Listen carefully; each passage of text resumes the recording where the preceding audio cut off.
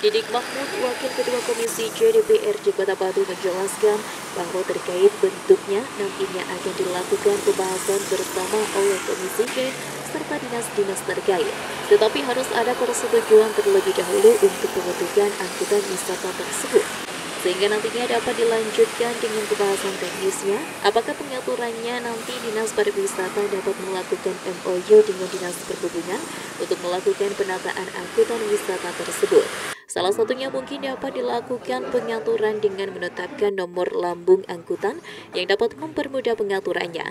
Sehingga dengan adanya pengaturan angkutan wisata yang jelas, semua angkutan wisata dapat memperoleh pembagian pengangkutan wisatawan di Kota Batu nantinya.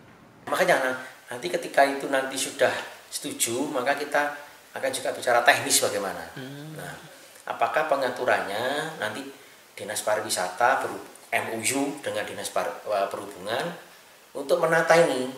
Mungkin nanti di, di setiap mobil ada nomor lambungnya ya, hmm. nomor lambung ya. Misalnya, oh nomor satu dan dua hari ini dibutuhkan hotel A, e, lambung 10 11 hari ini dibutuhkan lebih lah itu akan ada penataan begitu sehingga nanti semua akan merasakan gitu seperti itu.